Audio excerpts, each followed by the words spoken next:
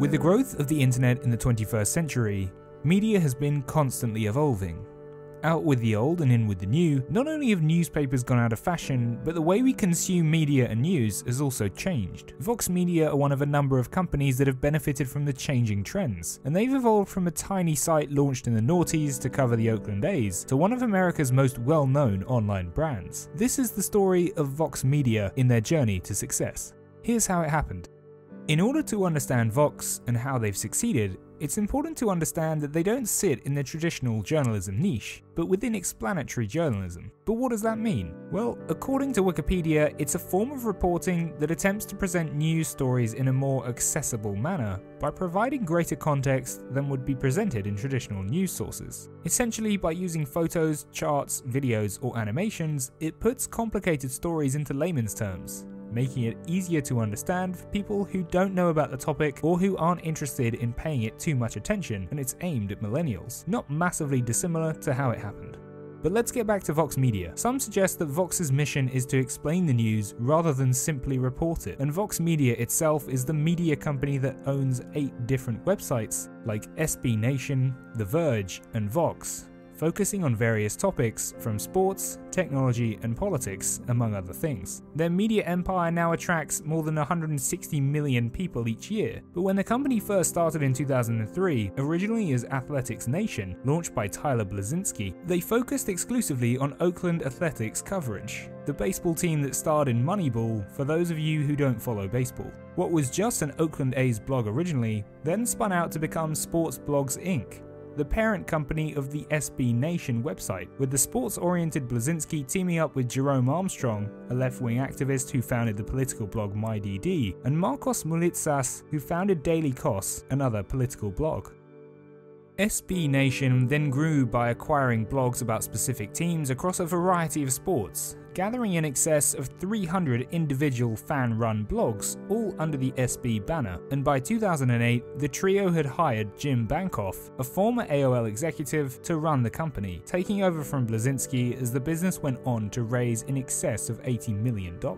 Three years later, in 2011, sports blogs then launched The Verge, a new site specifically focusing on technology and officially rebranded the business to Vox Media. By 2012, they'd launched Polygon, a video game news website, and another year later, they acquired the Curbed family of blogs, which looked at real estate, restaurants, and shopping. In 2014, the business brought in Ezra Klein, formerly of the Washington Post, who launched the news explanatory site we all know well, Vox.com, alongside Matt Yglesias, a former blogger at Think Progress, and Washington Post director Melissa Bell. And over the last five to six years, the portfolio of companies has continued to grow, to include the likes of Epic Media, Recode, and Vox Creative to the list. Where Vox has succeeded is by changing the way we consume media, not just through the devices we use, but also the way we read.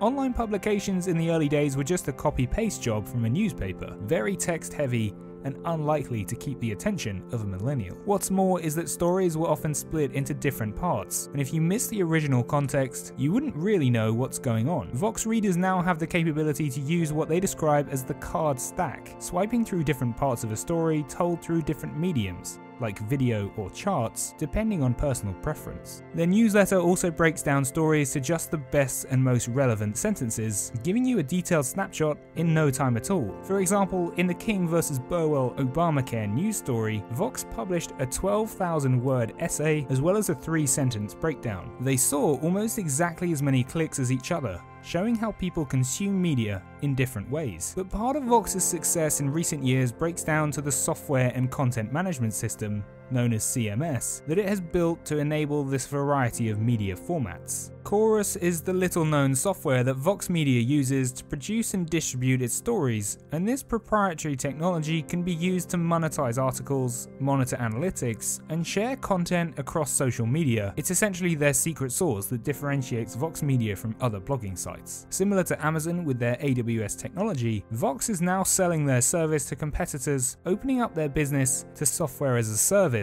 and B2B sales. But like all successful organizations, Vox Media often comes under scrutiny from its competitors and members of the public, and controversy often stems from its political viewpoints. It's been criticized for its progressive views, that being it believes in a political philosophy called progressivism, which supports social reform. Its liberal bias has been criticised on numerous occasions, with some readers suggesting that previous presidential coverage was like an advert for Obama, driven by the site's link to the former president through Ezra Klein. Their gaming website Polygon has also been criticised for displaying an excessive amount of identity politics within their articles, such as sexuality and race in video games. Christopher Grant, the editor, responded by saying the site unapologetically covers video games from a left wing perspective. But as the company looks forward, there's an emphasis on video production through their business Vox Entertainment, which was formed in March 2015 and is now part of Vox Media Studios. They're known for a variety of shows that you may not have realized were connected to Vox, like American Style on CNN, Explained on Netflix, Glad You Asked on YouTube, and No Passport Required on PBS. But it doesn't stop there, as Vox has also tapped into the ever popular podcast market with shows like Recode's Recode Decode, The Vergecast, Today Explained, and The Ezra Klein Show as they bid to conquer all forms of millennial media consumption.